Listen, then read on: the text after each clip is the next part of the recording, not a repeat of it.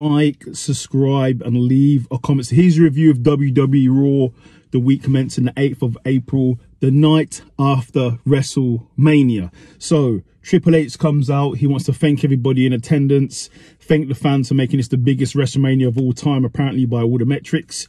And he also brings out Cody Rhodes. So Cody Rhodes congratulates, um, well, Triple H congratulates Cody Rhodes um, for breaking all the records.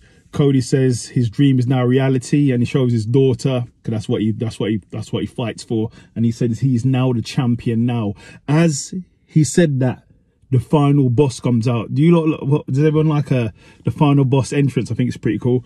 The final boss comes out.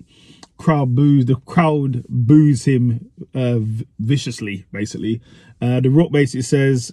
Um, congratulations to Cody. He did it. He's completed his story and he wanted to hold the title. So Cody let him hold the title. And The Rock basically um, says to Cody, he's going to be coming back for Cody at some point. Um, and The Rock also says to Cody, don't break his heart again. I've no idea what that's about. Then we go into our first match. It's Shinsuke Nakamura versus Dragunov. He's the NXT champion. I've never heard of him before, but yeah, really good match. But in the end, Dragunov wins. So congratulations to Dragunov. Then we see quite a few highlights from WrestleMania, um, which was a great event. Go and watch it. I haven't seen it already. Then we have the Judgment Day come out gloating over the success of Rhea Ripley and Damian Priest. Rhea Ripley comes out, basically says she runs things, she always runs things, and no one's taking a title when she's on top. And then Damian Priest basically comes out, celebrates his win. As he was celebrating it, R-Truth turns up because he's now the tag team champion.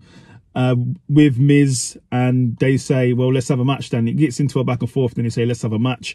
R-Truth was like, okay, let's have a six man tag match. But R-Truth only is there is him and the Miz because he has a tag team partner who you can't see, but there was no one there. So put two and two together. So then we go into the match. It's R-Truth versus the Judgment Day. Really good match. But in the middle of the match, who turns up? John Cena turns up and they basically squash the Judgment Day and get the victory. Then we have Bronson Reed basically said he's getting ready for everybody. He's going to beat everyone down because he's coming for everyone. Then we have Liv Morgan in the back attacks Rhea Ripley. So it looks like that's going to be our next title defense. Then we have Indi versus Roxana. I believe Roxana is the NXT Women's Champion. Really good match, but in the end, Roxana got the victory. Then we have Jey Uso congratulating Sami Zayn on his victory and said, let's go, yeet.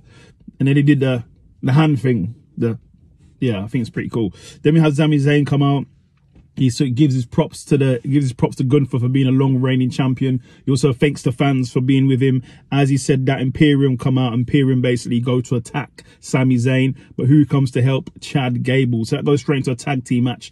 The Imperium versus Sami and Chad Gable. Great match, but in the end, Sami Zayn got the victory. Then we have Jey Uso in the back, ready, fired up for his four-way match for the number contender for the champion, Damian Priest. Then we have Chelsea Green in the back telling Adam Pearce she wasn't happy she wasn't at WrestleMania and she wants her moments. So Adam Pearce goes, I'll give you a moment, don't worry. That then goes into Chelsea Green versus Jade Cargill. Jade Cargill comes out, squash match, and Jade Cargill gets the victory. Then we have Sami Zayn and Chad Gable basically going back and forth having a chat. Chad Gable said he wants to cash in on his favour. Sami goes, yeah, do you want a drink after the after work? No, but Sami goes, no.